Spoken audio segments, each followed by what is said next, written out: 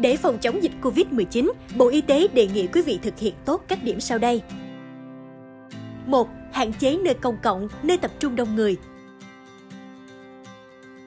2. Đeo khẩu trang khi ra ngoài, giữ khoảng cách tiếp xúc tốt nhất 2 mét.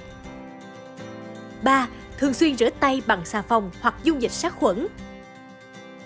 4. Không đưa tay lên mắt, mũi, miệng, thường xuyên súc họng bằng nước muối hoặc dung dịch sát khuẩn. 5.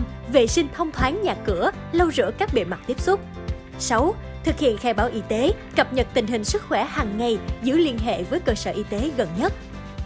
Liên hệ ngay với đường dây nóng Bộ Y tế 1900 9095 để được tư vấn, cài đặt ứng dụng Bluezone để được cảnh báo nguy cơ lây nhiễm COVID-19. www.bluezone.gov.vn